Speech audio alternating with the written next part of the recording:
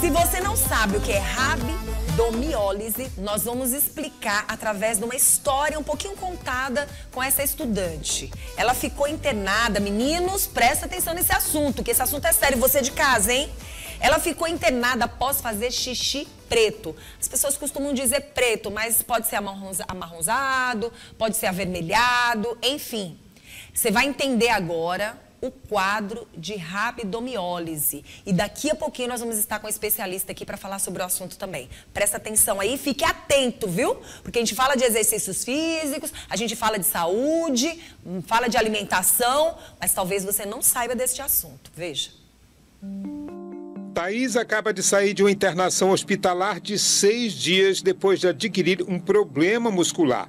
Ela ficou um ano e meio parada e voltou a fazer musculação só não tomou o cuidado de ir aumentando a atividade física aos poucos. Logo após o primeiro dia de treinos, começou a sentir dores musculares e outros sintomas. Eu não conseguia fazer nada, eu não conseguia me mexer. Para me levantar era muito difícil, para fazer qualquer atividade do, do dia a dia era, era muito difícil, muito difícil mesmo.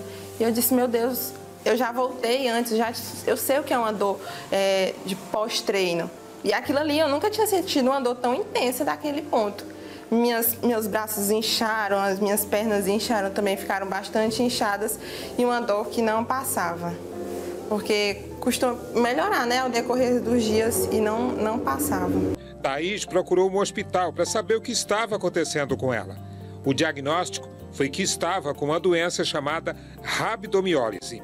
A rabdomiólise é uma condição provocada pela ruptura do tecido muscular e tem uma série de consequências, entre elas a fadiga muscular, além de oferecer riscos à condição renal do paciente. Isso é provocado principalmente por um excesso na atividade física. Foi o que aconteceu com a Thaís. Você já tinha ouvido falar em rabdomiólise? Até então não. Até então para mim era uma doença desconhecida que eu nem sabia que, que alguém podia ter até acontecer comigo, até eu parar no hospital com essa doença. Até então eu não sabia do que nem do que se tratava nem que existia essa doença. E não foi fácil. E não foi fácil passar por ela. O tratamento da rabdomiólise é feito através de exames de sangue e urina. No Brasil, são registrados pelo menos 150 mil casos por ano. Os sintomas mais comuns são as dores musculares, a fadiga, a urina de cor avermelhada ou marrom e a incapacidade de fazer atividade física. Uma das causas mais comuns da rabdomiólise é a lesão muscular. Este educador físico alerta que a prática da educação física, embora seja saudável, precisa de bom senso. É importante você, é, primeiramente, não extrapole né, seus limites, e aí é importante a orientação de um profissional da educação física, né, no sentido de você seguir os princípios básicos do treinamento, para que você tenha somente os, os benefícios. Porque atividade física, de uma maneira geral, ela proporciona re resultados assim maravilhosos, tanto na saúde física quanto mental. Mas é, é importantíssimo que você tenha cuidado para seguir os princípios do treinamento. Caso você não tenha essa orientação de um profissional da educação física, é importante que você utilize o bom senso.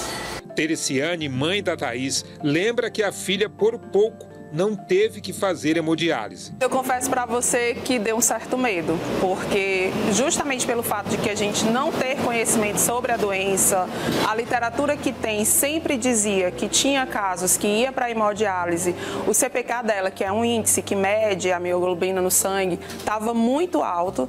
Então, como mãe, bate um certo desespero. Aí você tem que se manter forte como mãe e para sua própria filha. Atividade física é saúde, mas desde que bem acompanhado, né? Com um profissional capacitado, respeitar os limites, porque não é só estética, é saúde também.